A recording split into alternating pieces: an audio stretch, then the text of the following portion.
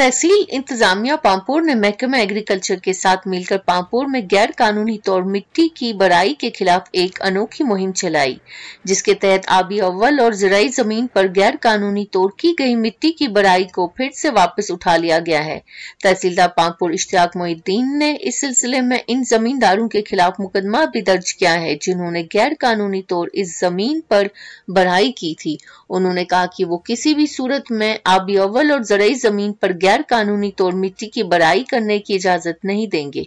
उन्होंने मजीद कहा कि वो इस तरह के काम करने वाले लोगों के खिलाफ सख्त से सख्त कानूनी कार्रवाई अमल में लाएँगे, ताकि जराई ज़मीन को महफूज रखा जा सके। जब से हमने ये स्टार्ट की है प्रोसेस आज ग्यारहवीं बार हम ये मिट्टी यहाँ से उठा रहे हैं।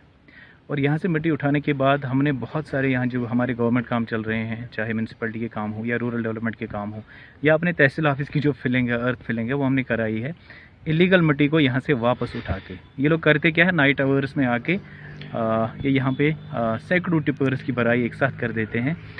हमारे पास स्टाफ की शॉर्टेज है। हमारे पास देखिए इतना बड़ा तहसील है। मेरे पास फ़ील्ड स्टाफ में कुल ग्यारह बारह मुलाजिम हैं जिनका इतना दिन भर काम रहता है वो रात में पहरा नहीं दे सकते। वो सी बात है। लेकिन वे हैव डिसाइडेड कि वी विल एक्ट टॉप हमने बहुत सारे जो हैं जितने भी यहाँ पे मुझे लगता है जो ज़मीन की दलाली करने वाले, जो ये खासकर अर्थ फिलिंग इलीगली करते हैं, सबके अगेंस्ट एफ़ लॉन्च किया है। आज भी जिन्होंने यहाँ पे तीन लोगों ने बराई, मिट्टी की बराई की है, उनके अगेंस्ट भी एफ़ लॉन्च होगा और लैंड रेन्यू एक्ट में कार्रवाई होगी। इसके अलावा मैं एक और बात बता दूँ, जो हमारा कंजबल इलाका है, वहाँ सेफ्रॉन लैंड से मिट्टी उठाई गई थी। वहाँ last time district mineral officer और हमारी टीम गई है, और वहाँ पे हमने बिल्कुल मेज़रमेंट मेज़रमेंट करके कितनी मट्टी उठाई गई है as as per cost of mineral हमने तकरीबन एक करोड़ से ज़्यादा रुपए का जुर्माना उन ज़मींदारों पे आयद